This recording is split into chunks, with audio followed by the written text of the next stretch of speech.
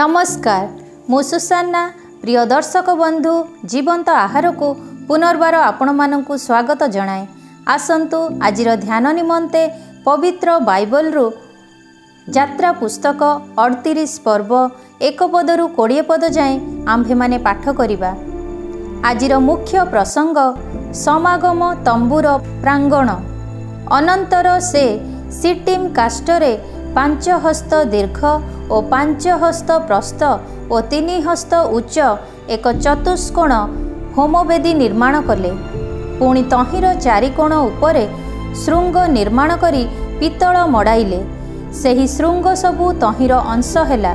ଆଉ ସେ ବେଦୀର ସମସ୍ତ ପାତ୍ର ଅର୍ଥାତ୍ ଭସ୍ମଧାନୀ ଓ କରଚୁଲି ଓ କୁଣ୍ଡ ଓ ତ୍ରିଶୂଳ ଓ ଅଙ୍ଗାରଧାନୀ ଏହି ସମସ୍ତ ପାତ୍ର ପିତ୍ତଳରେ ପ୍ରସ୍ତୁତ କଲେ। ଏହି ବେଦୀର ବେଢ଼ ତଳେ ନିମ୍ନରୁ ମଧ୍ୟ ପର୍ଯ୍ୟନ୍ତ ପିତ୍ତଳ ନିର୍ମିତ ଜାଲି ଝାଞ୍ଜିରି କଲେ। ପୁଣି ସାଙ୍ଗୀର ଘରା ନିମନ୍ତେ ସେହି ପିତ୍ତଳ ଝାଞ୍ଜିରିର ଚାରିକୋଣରେ ଚାରିକଡ଼ା ଢାଳିଲେ।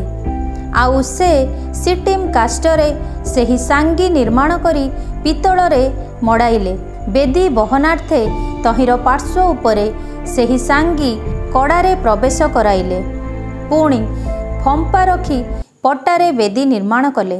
ଆଉ ଯେଉଁ ସ୍ତ୍ରୀଗଣ ସମାଗମ ତମ୍ବୁର ଦ୍ୱାର ସମୀପରେ ସେବା କଲେ ସେହି ସେବାକାରିଣୀ ସ୍ତ୍ରୀଗଣର ପିତ୍ତଳ ନିର୍ମିତ ଦର୍ପଣ ଦ୍ୱାରା ସେ ପ୍ରକ୍ଷାଳନ ପାତ୍ର ଓ ତହିଁର ବୈଠିକି ନିର୍ମାଣ କଲେ।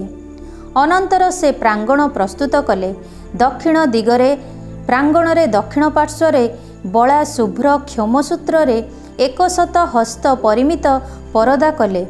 ତହିଁର କୋଡ଼ିଏ ସ୍ତମ୍ଭ ଓ କୋଡ଼ିଏ ଚୁଙ୍ଗି ପିତ୍ତଳର ପୁଣି ସେହି ସ୍ତମ୍ଭର ଆଙ୍କଡ଼ା ଓ ଛୁଞ୍ଚିଆ ରୂପାର ଥିଲା।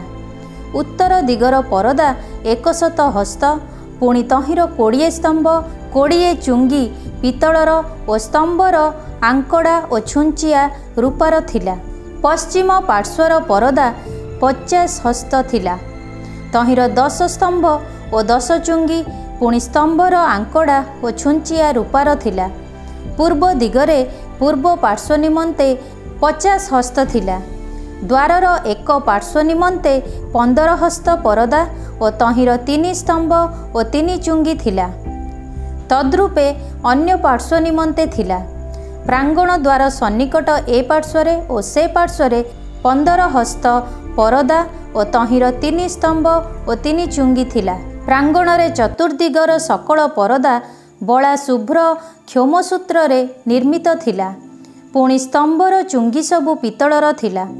ସ୍ତମ୍ଭର ଆଙ୍କଡ଼ା ଓ ଛୁଞ୍ଚିଆ ରୂପାର ତହିଁର ମୁଣ୍ଡାଳି ରୌପ୍ୟ ମଣ୍ଡିତ ପୁଣି ରୂପା ଛୁଞ୍ଚିଆରେ ପ୍ରାଙ୍ଗଣର ସକଳ ସ୍ତମ୍ଭ ସଂଯୁକ୍ତ ଥିଲା। ଆଉ ପ୍ରାଙ୍ଗଣ ଦ୍ୱାରର ଆଚ୍ଛାଦନ ବସ୍ତ୍ର ନୀଳ ଓ ଶୁଭ ଓ ଧୂମ୍ର ଓ ସିନ୍ଦୁର ବର୍ଣ୍ଣ ଓ ବଳା ଶୁଭ୍ର କ୍ଷମସୂତ୍ରରେ ଶିଳ୍ପ କର୍ମ ବିଶିଷ୍ଟ ଓ ପ୍ରାଙ୍ଗଣର ପରଦା ତୁଲ୍ୟ ତାହା ଦୀର୍ଘରେ କୋଡ଼ିଏ ହସ୍ତ ଓ ପ୍ରସ୍ତରେ ପାଞ୍ଚ ହସ୍ତ ଉଚ୍ଚ ଥିଲା। ପୁଣି ତହିଁର ପିତ୍ତଳର ଚାରି ସ୍ତମ୍ଭ ଓ ଚାରି ଚୁଙ୍ଗି ଓ ରୂପାର ଆଙ୍କଡ଼ା ଓ ତହିଁର ମୁଣ୍ଡାଳି ରୌପ୍ୟମଣ୍ଡିତ ଓ ଛୁଞ୍ଚିଆ ରୂପାର ଥିଲା। ପୁଣି ଆବାସର ଓ ପ୍ରାଙ୍ଗଣର ଚତୁର୍ଦିଗର ମେଖ ସବୁ ପିତ୍ତଳର ଥିଲା।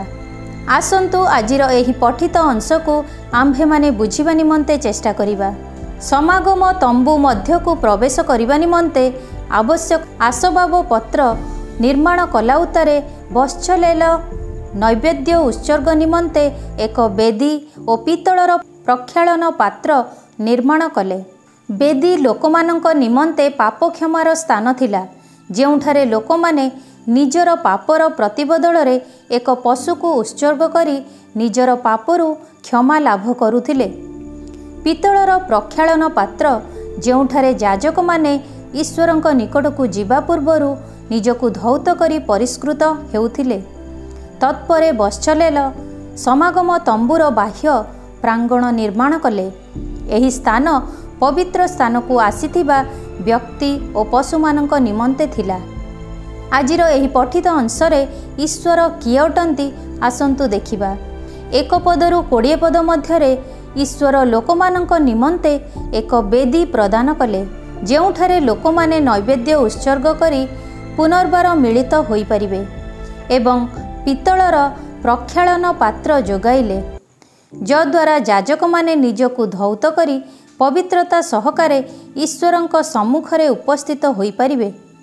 ଏହା ଈଶ୍ୱରଙ୍କ ଅନୁଗ୍ରହ କାର୍ଯ୍ୟକୁ ପ୍ରକାଶ କରେ ଯାହାକି ଈଶ୍ୱର ସମସ୍ତ ମାନବ ଜାତିର କମଜୋରିକୁ ଜାଣନ୍ତି। ଏହି ପାଠରୁ ଈଶ୍ୱର ଆମ୍ଭମାନଙ୍କୁ କ'ଣ ଶିଖାଇବାକୁ ଚାହାନ୍ତି ଆସନ୍ତୁ ଶିଖିବା। ନଅ ପଦରୁ କୋଡ଼ିଏ ପଦ ମଧ୍ୟରେ ସେହି ଆବୋଧ ସ୍ଥାନ ଆବଶ ତମ୍ବୁଠାରୁ ଜଗତକୁ ପୃଥକ କରେ ଏବଂ ଏହା ଦର୍ଶାଏ ଯେ ସମାଗମ ତମ୍ବୁ ଯେ କୌଣସି ବ୍ୟକ୍ତି ବିଶେଷ ପାଇଁ ସାର୍ବଜନିତ ନୁହେଁ।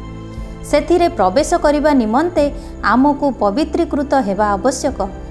ଏଥି ନିମନ୍ତେ ଆମକୁ ପବିତ୍ର ହେବା ଆବଶ୍ୟକ କାରଣ ଆମ ଜୀବନ ରୂପକ ମନ୍ଦିରରେ ଈଶ୍ୱର ବାସ କରନ୍ତି। ମୋ ଜୀବନରେ କ'ଣ ପବିତ୍ର ଆବୋଧ ସ୍ଥାନ ଅଛି କି? ଆଜିର ଏହି ଧ୍ୟାନରେ ଈଶ୍ୱର ଆମ ସମସ୍ତଙ୍କୁ ଆଶୀର୍ବାଦ କରନ୍ତୁ। ଆସନ୍ତୁ ଆମ୍ଭେମାନେ ପ୍ରାର୍ଥନା କରିବା। ହେ ପ୍ରଭୁ ଆମ୍ଭମାନଙ୍କୁ ଏକ ପବିତ୍ର ଜୀବନଯାପନ କାଟିବା ନିମନ୍ତେ ତୁମେ ସାହାଯ୍ୟ କର। ଯେପରି ଏହି ପବିତ୍ର ମନ୍ଦିରରେ ତୁମେ ସ୍ଥାନ ପାଇବ। ଯୀଶୁଙ୍କ ନାମରେ ମାଗୁଅଛୁ। ଆମେନ୍।